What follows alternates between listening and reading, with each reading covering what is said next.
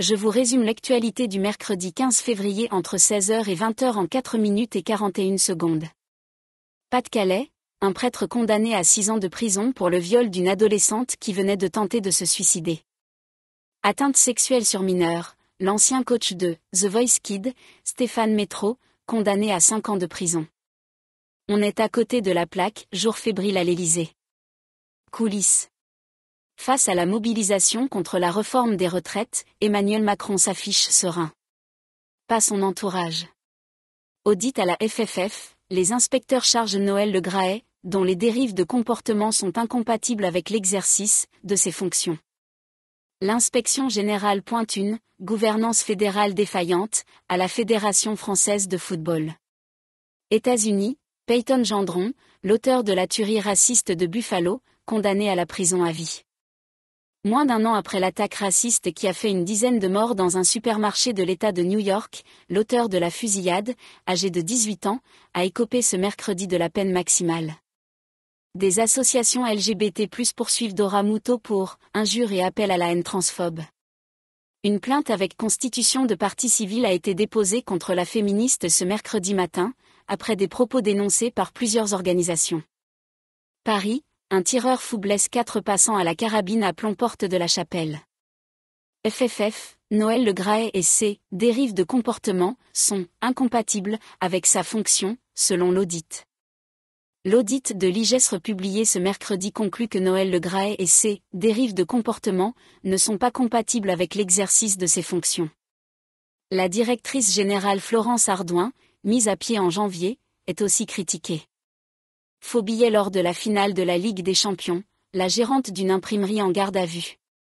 Adolescente décédée dans une maison en feu dans le Finistère, l'incendie serait volontaire. Starship, la méga fusée de SpaceX bientôt en orbite. L'entreprise d'Elon Musk est en train de finaliser son lanceur géant, qui vient de réussir un test crucial en allumant simultanément 31 moteurs pour simuler un décollage. Le vieux rêve du fantasque PDG est en train de s'ancrer dans la réalité. Accident de Pierre Palmade, le deuxième passager présumé placé en garde à vue. Corps calciné et démembré dans l'Aveyron, un couple et un trentenaire mis en examen. Retraite, Olivier Dussopt a-t-il menti en évoquant une stabilité des accidents mortels au travail? Lors des débats sur les retraites à l'Assemblée nationale, le ministre du Travail a déclaré que le nombre d'accidents du travail mortels n'avait pas bougé depuis 2017. Une affirmation fausse, selon LFI. L'intelligence artificielle, miroir de nos sociétés sexistes. Les algorithmes des intelligences artificielles reproduisent-ils les biais de leurs concepteurs? Une conférence à suivre le 10 mars, à la Cité des sciences et de l'industrie ou en vidéo. Retraite, à l'approche de la fin des débats imposés par le gouvernement, la gauche demande une prolongation.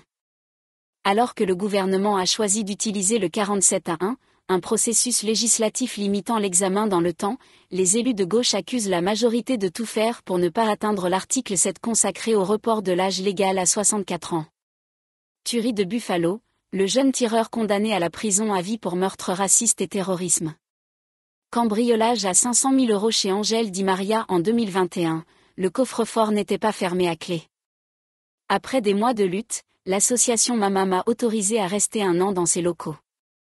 Créée lors du premier confinement, l'association de lutte contre la précarité infantile Mamama devra quitter ses locaux situés à Saint-Denis d'ici un an, selon une décision du juge des référés du tribunal de Bobigny rendue mercredi.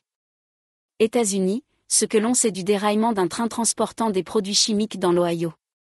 Le 3 février dernier, un train transportant des matières toxiques a déraillé, provoquant un important incendie au-dessus de la ville d'East Palestine, dans l'Ohio.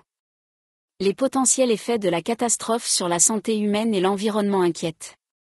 Un maître nageur, ex-élu à Méréville, condamné pour agression sexuelle. J'avais l'impression de photographier l'histoire, Bobby revient sur la manifestation qu'il a le plus marqué. Mobilisé par Libération, pour couvrir les manifestations, notre photoreporté Bobby revient sur la mobilisation la plus marquante de sa carrière, l'acte 3 des Gilets jaunes, le 1er décembre 2018. Pour ne rien manquer de l'actualité quotidienne, abonnez-vous à ma chaîne.